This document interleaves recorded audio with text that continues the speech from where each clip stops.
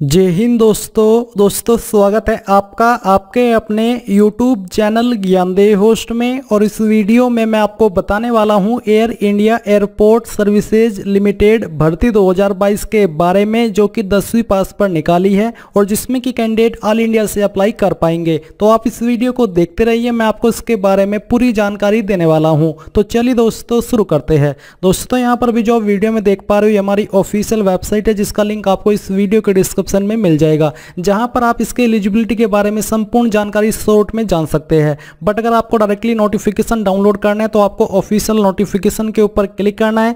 इसके ऊपर क्लिक करने के बाद ये नोटिफिकेशन आ जाएगा, जहाँ पर आप जानेंगे कि ये भर्ती A I airport services limited जिसको पहले Air India air transport services limited के नाम से जानते थे। इसमें आपकी काफ़ी सारी पोस्ट पर यह वैकेंसी निकली है, जैसे कि deputy terminal manager duty office officer officer admin officer finance junior executive junior executive इसके अलावा ramp service agent utility agent cum ramp driver handyman तो आप यहाँ पर देख लीजिए, सबसे ज़्यादा पद आपके हैंडीमैन के हैं, जिसके लिए एक एक पद निकाले गए हैं।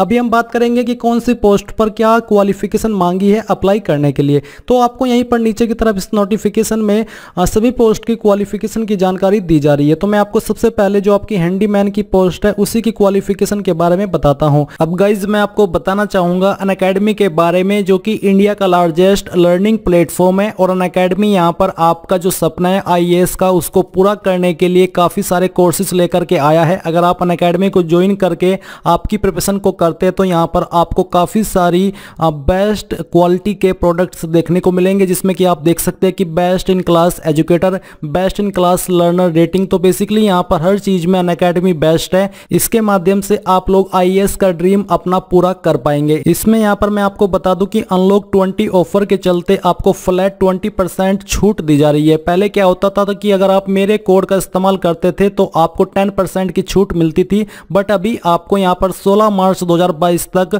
फ्लैट 20 परसेंट की छूट मिल रही है प्लस कॉम्बो पर भी और आइकोनिक कॉम्बो पर भी। तो आपको मेरे code M Z A D ten का इस्तेमाल करना है और तुरंत इसको छूट को ले लेना है। साथ ही यहाँ पर आपकी Unacademy lite films and C की जो बैच है 2023 के लिए, वो भी यहाँ पर आपकी जो है वो जल्द शुरू होगी और इसके जो कोर्सेज की फ़ीस है, उसमें भी काफ़ी कटौती की गई है और आप यहाँ पर उनके कटौती होने के बाद में प्राइस चेक कर सकते हैं।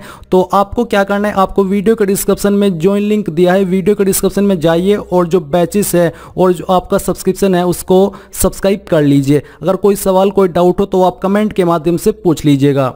हैंडीमैन हैंडी वुमैन यानी कि इसमें मेल फीमेल दोनों अप्लाई कर पाएँगे। तो यहाँ पर दोस्तों अप्लाई करने के लिए आपसे दसवीं पास की योग्यता मांगी है। जी हाँ दोस्तों, अगर आप दसवीं पास है तो आप इस पर अप्लाई कर पाएँगे। अब चाहे आपके पास कोई एक्सपीरियंस है या फिर नहीं है। साथ ही आपको ये कहा कि must be able to read and understand English language यानी कि आपको इंग्लिश लैंग्वेज पढ़नी और समझनी आनी चाहिए। भले ही आपको बोलनी नहीं आती हो बट आप समझ लेते हो थोड़ी बहुत तो आप इसमें आराम से अप्लाई कर सकते हैं।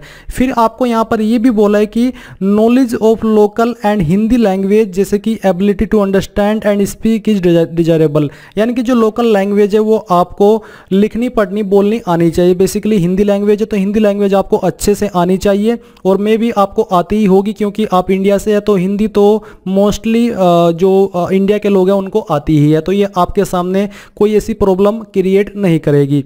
इस पर आपको जो सैलरी दी जाएगी, वो चौदह हज़ार छः सौ दस रुपये दी जाएगी।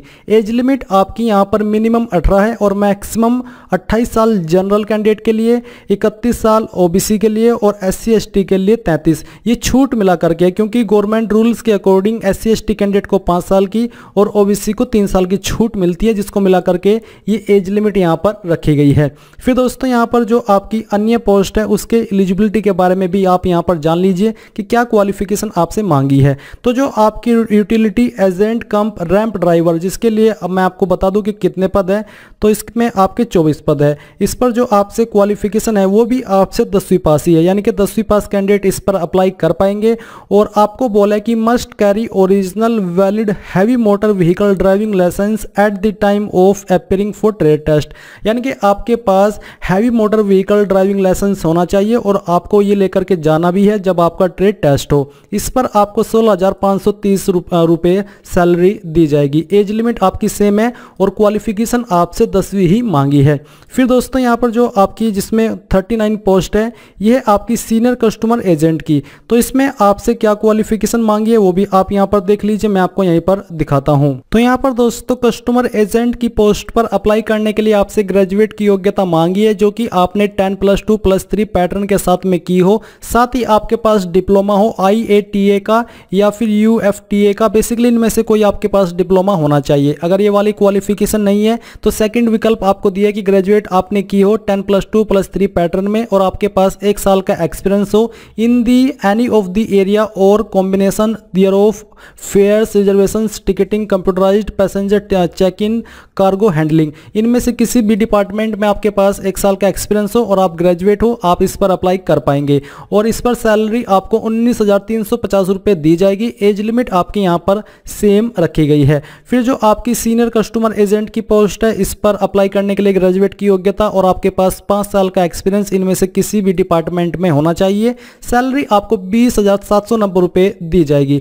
तो ये तो ही आपकी क्वालिफिकेशन के बारे में जानकारी। अभी आपके मन में एक सवाल ये होगा कि ये भर्ती परमानेंट है या फिर नहीं है? तो मैं आपको बता दूँ कि ये भर्ती परमानेंट नहीं है बट गवर्नमेंट है, वो भी आपकी सेमी गवर्नमेंट आप इसको कहेंगे। और ये आपकी कॉन्ट्रैक्ट बेस पर है। आपको बोले कि फिक्स टर्म कॉन्ट्रैक्ट बेसिस यानी कि कॉन्ट्रैक्ट बेस पर है। अगर आपका काम इनको अच्छा लगा तो इसके बाद में आपकी जो कॉन्ट्रैक्ट का पीरियड है वो आगे भी बढ़ा जा सकता है। बट यहाँ पर अभी आपको परमानेंट की कोई भी गारंटी नहीं दी जा रही है।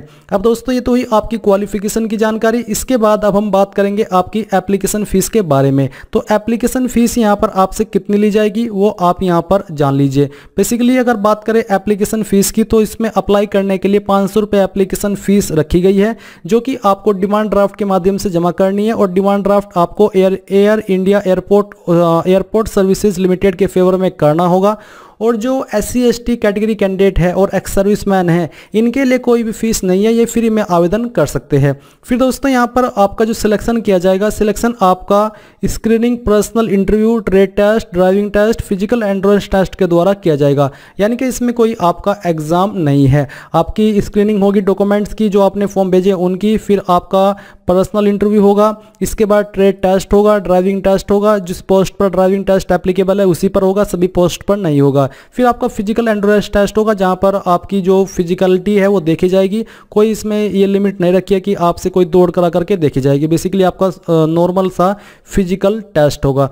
तो आपने यहाँ पर इसके बारे में संपूर्ण जानकारी जान ली है। अभी यहाँ पर दोस्तों जो आपको इसमें अप्लाई करना है, वो ऑफलाइन माध्यम से करना है। एप्लीकेशन फॉर्म का परफॉर्मा यहीं पर दिया है। अगर आप चाहते हैं कि फॉर्म फिलअप कैसे करना है, इसके बारे में मैं आपके लिए एक अलग से वीडियो बनाऊँ तो आपको मुझे कमेंट करके बताना है। फिर मैं आपके लिए जल्द ही वीडियो बनाऊँगा, जिसको वॉच करके आप इस फॉर्म को बिना किसी मिस्टेक के भर पाएँगे। तो दोस्तों, ये थी भर्ती की जानकारी। जानकारी पसंद आई हो तो वीडियो को लाइक, शेयर और आपके अपने यूट्यूब चैनल ज्ञानदेव होस्ट को सब्सक्राइब करके बेलाइकन को ऑन कर ले। Thanks for watching. जय हिंद।